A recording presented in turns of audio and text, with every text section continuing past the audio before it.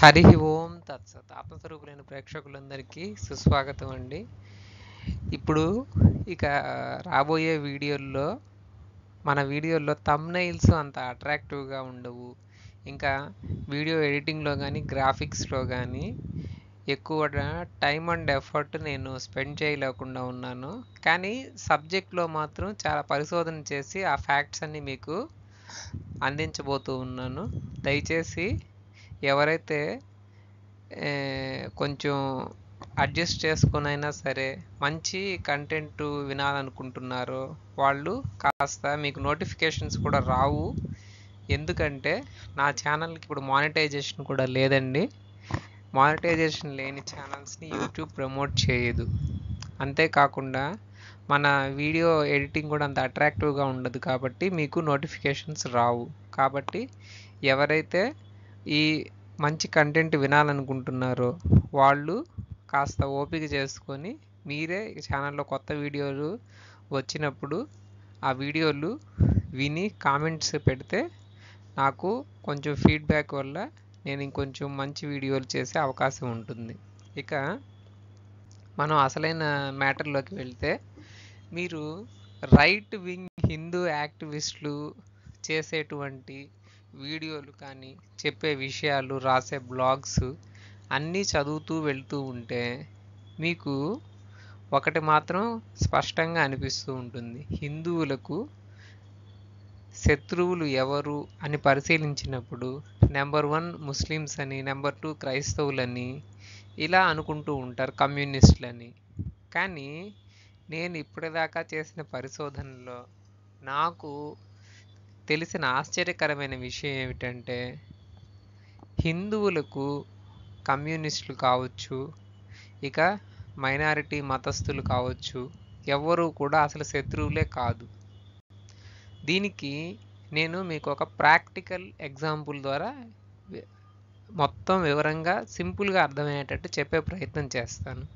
ఇప్పుడు మీ చుట్టూ గాలిలో ఎంతో ప్రమాదకరమైనటువంటి వైరస్లు బ్యాక్టీరియాలు అనేకం తిరుగుతూ ఉన్నాయి.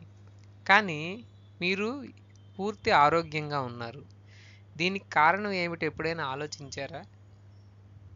మీ శరీరం లోపల ఎటువంటి బలమైన వైరస్ని బ్యాక్టీరియాలని అయినా సరే తట్టుకొని వాటితో యుద్ధం చేసి అవి లోపలికి వచ్చిన వెంటనే వాటిని చంపి మిమ్మల్ని రక్షించేటువంటి రోగ నిరోధక వ్యవస్థ అనే ఒక వ్యవస్థ చాలా చురుగ్గా బలంగా పనిచేస్తూ ఉంది. అది అలా చురుగ్గా బలంగా పనిచేయడం వల్ల మీ చుట్టూ ఎంత ప్రమాదకరమైన వైరస్లు ఉన్నప్పటికీ ఎంత ప్రమాదకరమైన శక్తులు ఉన్నప్పటికీ మిమ్మల్ని ఏమీ చేయలేకుండా ఉన్నాయి. మీరు ఆరోగ్యంగా ఉన్నారు ఉంటారు కూడా. ఎప్పటి వరకు మీ వ్యాధి నిరోధక వ్యవస్థ మీకు శ్రీరామ రక్షగా ఉన్నంత వరకు. ఎప్పుడైతే మీ వ్యాధి నిరోధక వ్యవస్థ అనేది బలహీనపడుతుందో చాలా బలహీనమైన వైరస్ కూడా మిమ్మల్ని దాడి చేసి మిమ్మల్ని చంపివేసేంత బలం బలం పుంజుకుంటుంది. ఈ వైరస్లు అనేవి నిజానికి పవర్లెస్ అండి. వాటికి ఎటువంటి శక్తి ఉండదు. వాటికి శక్తి ఎక్కడి నుంచి వస్తుంది? హోస్ట్ నుంచి వస్తుంది.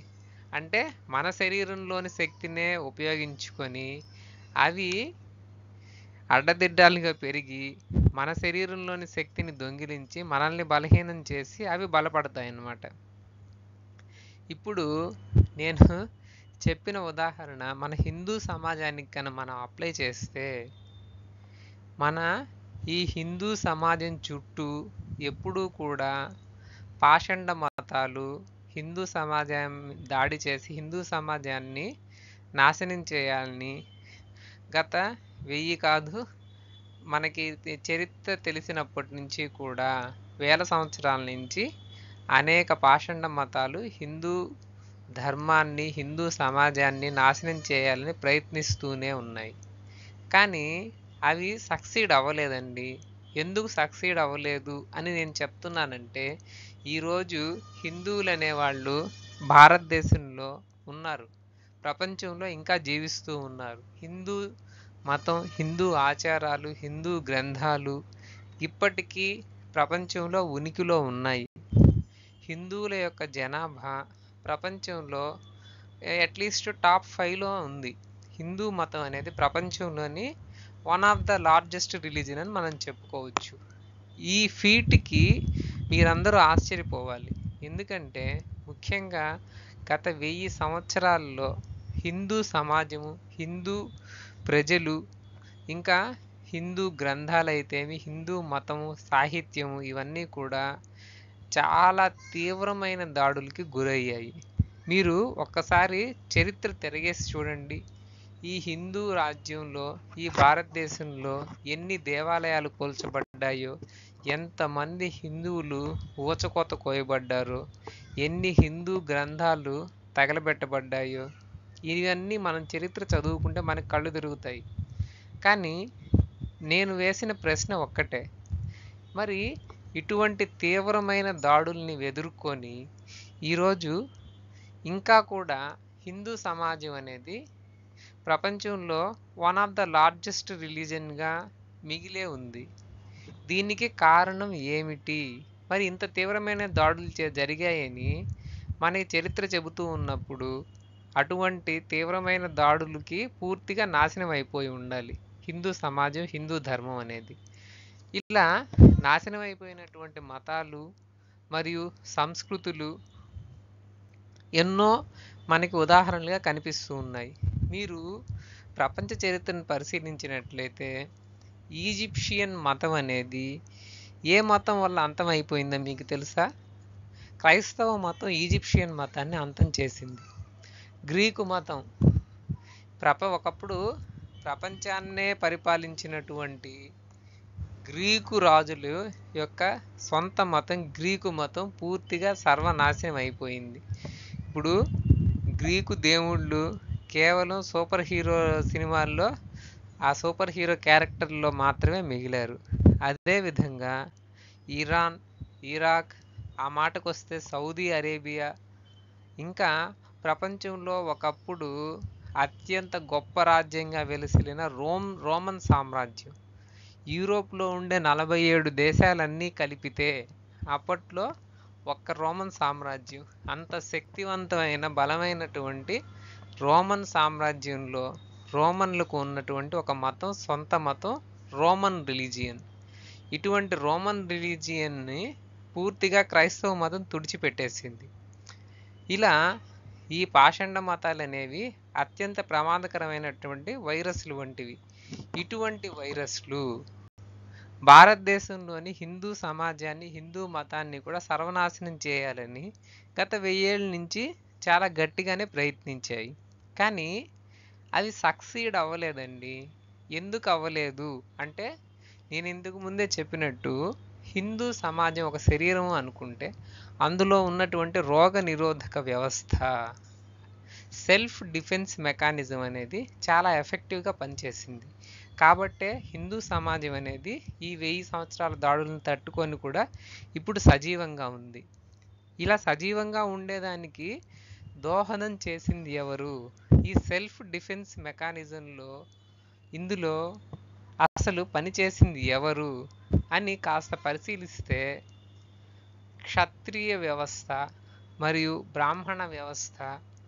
ఇంకా హిందూ సమాజంలో ఉన్నటువంటి ఈ కుల కులాలు ఈ కుల వ్యవస్థ అనేది హిందువుల్ని ఒక సంఘటితంగా ఉంచి ఒక్కొక్క సామాజిక వర్గము హిందూ ధర్మాన్ని కాపాడడంలో ఒక్కొక్క యాంగిల్లో వాళ్ళ యొక్క శక్తి సామర్థ్యాలనంతా ఉపయోగించి హిందూ సమాజాన్ని సెల్ఫ్ డిఫెన్స్ చేస్తూ హిందూ ధర్మాన్ని కాపాడాయి. ముఖ్యంగా క్షత్రియులు ముందుండి పోరాడి రక్తం ధారపోసి హిందూ ధర్మాన్ని నిలబెట్టారు. ఈ క్షత్రియుల్లో మనకి శివాజీ మహారాజు గారి పేరు రాణా ప్రతాప్ మహారాజు గారి పేరు హరిహర రాయలు బుక్కరాయలు ప్రోలయ నాయకుడు వంటివి కొంతమంది పేర్లు మాత్రమే మనకి చరిత్రలో వినిపిస్తూ ఉన్నాయి.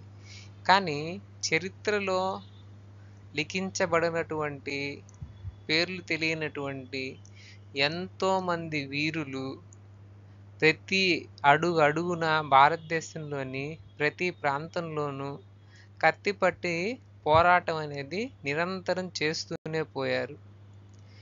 హిందూ రాజ్యం మీద దాడి చేసి ఇరాన్ లాగో ఇరాక్ లాగో లేదా సౌదీ అరేబియా లాగో ఒకటి రెండు యుద్ధాలు చేసి హిందూ సమాజాన్ని హిందూ మతాన్ని పూర్తిగా సర్వనాశనం చేయాలి అనుకున్నటువంటి పాషండ మతాల కళ కలగానే మిగిలిపోయింది. ఎందుకంటే ఆయా దేశాల్లో ఒక్క యుద్ధంతో వాళ్ళ సైన్యం అంతా తుడిచిపెట్టుకోపోయింది. ఇంకా తిరుగుబాటు అనేది లేదనమాట. వాళ్ళ యొక్క సెల్ఫ్ డిఫెన్స్ మెకానిజం సరిగ్గా లేకపోవడం వల్ల గ్రీకు మతం ఈజిప్షియన్ మతం ఇంకా అనేక మతాలు ప్రపంచంలో పూర్తిగా సర్వనాశనం అయిపోయాయి. కానీ హిందూ మతం మాత్రం అలా నాశనం అవ్వకుండా హిందూ సమాజంలో ఉన్నటువంటి ముఖ్యంగా క్షత్రియులు మరియు బ్రాహ్మణులు ధర్మాన్ని రక్షించడం తమ భుజాల మీద వేసుకొని రక్తం ధారపోసి ఈ ధర్మాన్ని కాపాడారు. వాళ్ళకి ఏమాత్రం తీసుకోకుండా అన్ని కులాల వారు కూడా ధర్మాన్ని రక్షించడానికి ఎప్పుడూ కూడా ప్రాణాలు అర్పించడానికి ముందుండేవాళ్ళు. కొన్ని స్టోరీస్ చదివితే మనకి ఈ విషయం చాలా స్పష్టంగా తెలుస్తూ ఉంది. దేవాలయాల మీద దాడి చేసినప్పుడు ఎంతోమంది ముఖ్యంగా సోమనాథ్ దేవాలయం మీద దాడి చేసినప్పుడు యాభై వేల మంది దళితులు వచ్చి సోమన సోమనాథ్ దేవాలయం మీద దాడి జరగకుండా ప్రాణాలొడ్డి పోరాడారు. కాబట్టి మీకేం అర్థమవుతుంది? దళితుల్ని దేవాలయాలకు రానియలేదు అనేటువంటి ఇవన్నీ కూడా ఉత్త కట్టు కథలని మీకు అర్థమవుతూ ఉండాలి ఈ పాటికే. మరి ఇలా హిందూ సమాజాన్ని రక్షించినటువంటి ఈ self defence mechanism nineteen forty seven తర్వాత ఏమైంది? సడన్గా మనకి ఎప్పుడైతే స్వాతంత్ర్యం వచ్చిందో స్వాతంత్ర్యం వచ్చిన తర్వాత హిందూ సమాజం మరియు హిందూ మతం అనేవి చాలా ర్యాపిడ్గా డ్యామేజ్ అయిపోయాయి.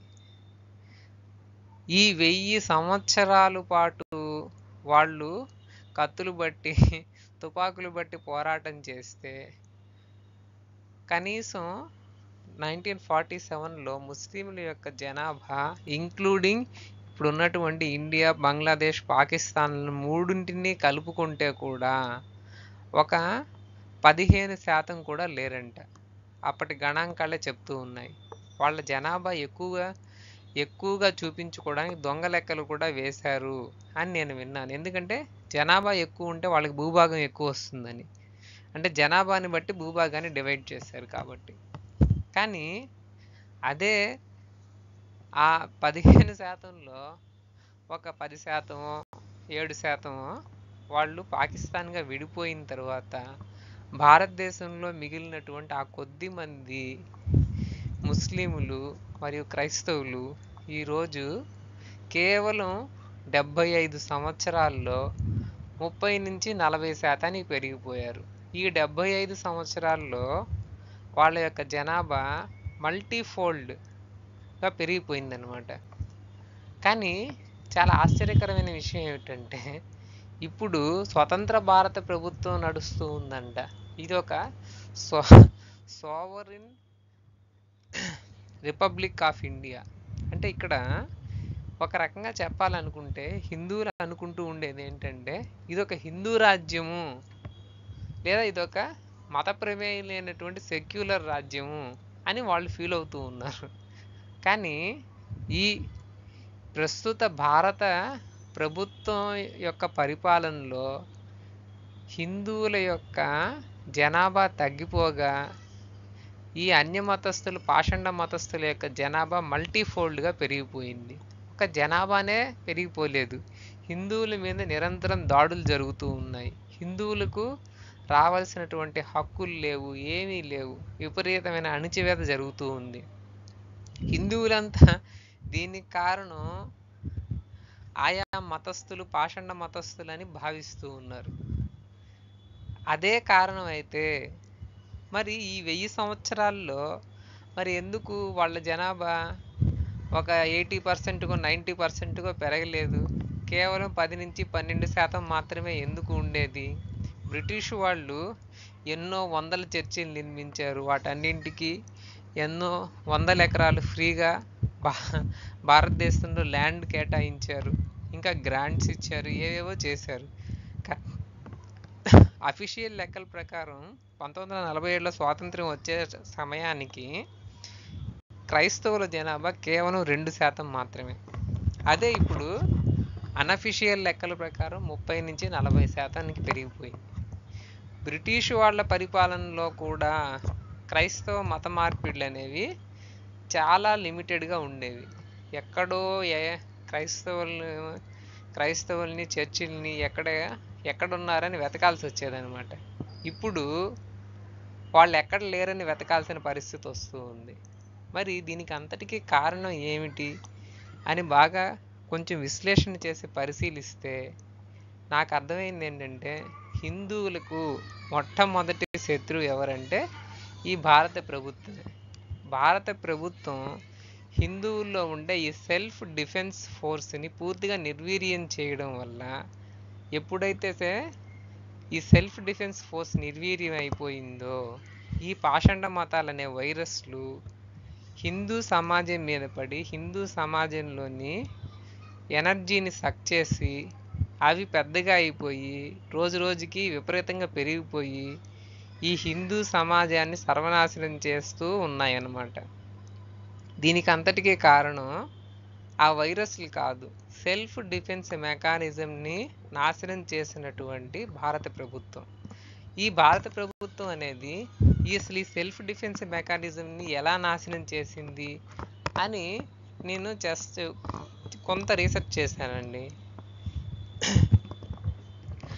భారతదేశంలో ఉన్నటువంటి హిందూ సమాజాన్ని రక్తం ధారపోసి రక్షించినటువంటి క్షత్రియులు పంతొమ్మిది వందల నలభై ఏడులో స్వాతంత్ర్యం వచ్చే వరకు కూడా అక్కడక్కడ చిన్న చిన్న సంస్థానాలను పరిపాలించుకుంటూ ఆయా సంస్థానాల్లో పాషండ మతాలు అడుగు పెట్టకుండా వాళ్ళు రక్తం ధారపోసి పోరాటం చేస్తూ అక్కడ ఈ పాషండ మతాలు అనే వైరస్లు దూరకుండా వాళ్ళు నిరంతరం కాపలా కాశారు.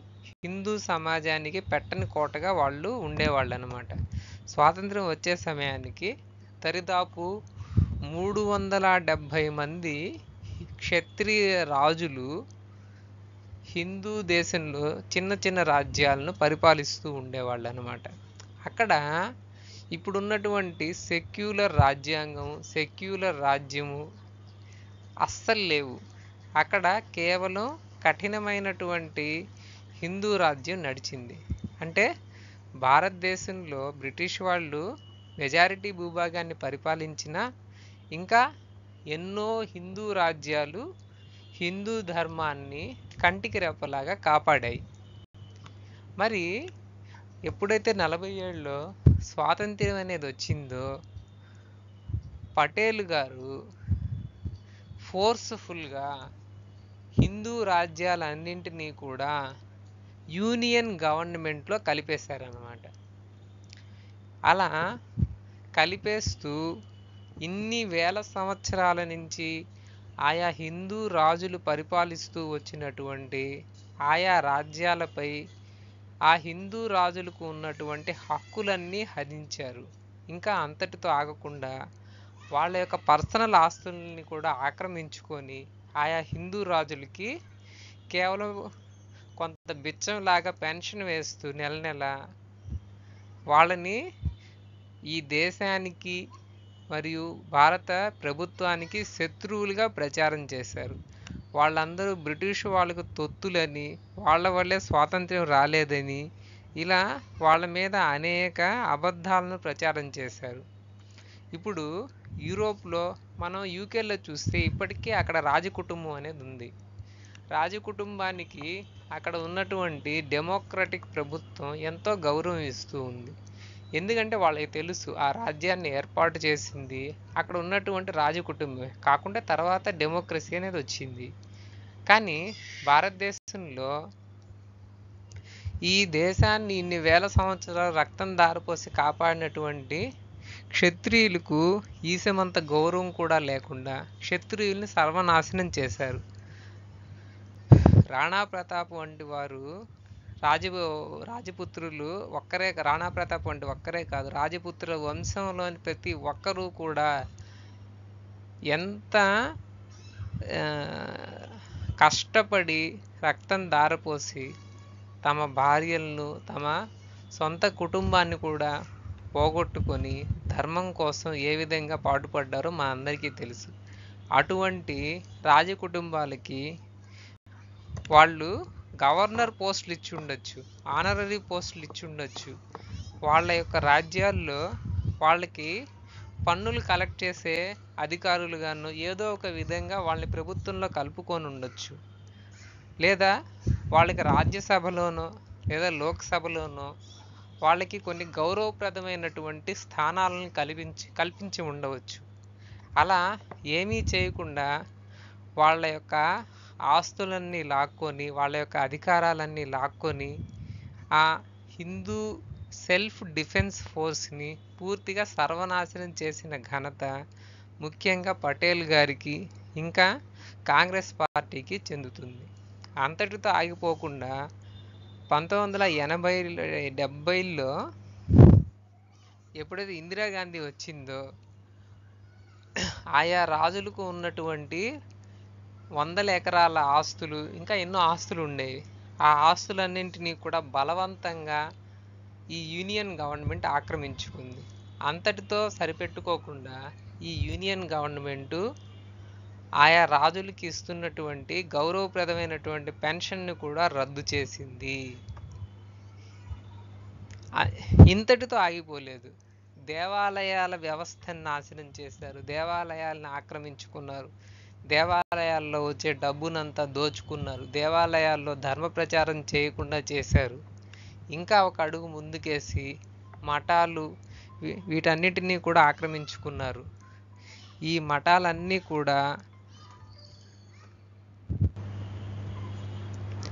హిందూ సెల్ఫ్ డిఫెన్స్ ఫోర్స్లో భాగంగా ఉండేవి. మీరు గనక పరిశీలిస్తే శివాజీ మహారాజు గారికి ఇన్స్పిరేషన్ ఇచ్చి హిందూ ధర్మాన్ని రక్షించమని చెప్పింది స్వామి సమర్థ గారు. అదేవిధంగా రాయల సామ్రాజ్యానికి పునాది వేసింది స్వామి విద్యారణ్య సరస్వతి గారు. వీళ్ళిద్దరి పేర్లైతే మనకు ప్రామినెంట్గా తెలుసు.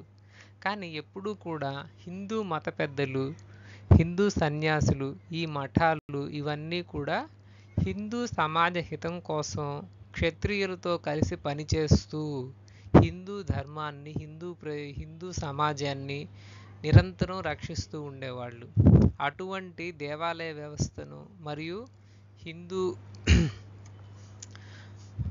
హిందూ మత వ్యవస్థను హిందూ రాజ్య వ్యవస్థను సర్వనాశనం చేసి సెల్ఫ్ డిఫెన్స్ ఫోర్స్ని పూర్తిగా నిర్వీర్యం చేసేసింది ఈ భారత ప్రభుత్వం.